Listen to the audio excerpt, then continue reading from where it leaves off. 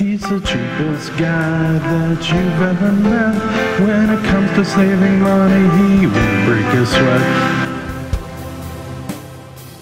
Mr. Cheap is sponsored by the Warrior Dash, where all of your memories are saved.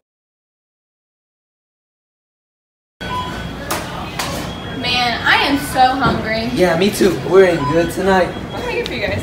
Can I have a number eight? Whoa, whoa, whoa. We're only ordering off a dollar menu tonight. Okay. Did we really have to come to Dollar Tree to grocery shop? Everything's a dollar. What do you expect?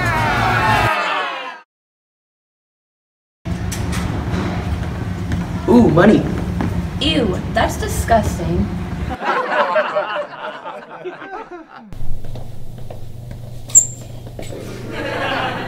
Your books are $5 off. Heck yeah, I'm getting one.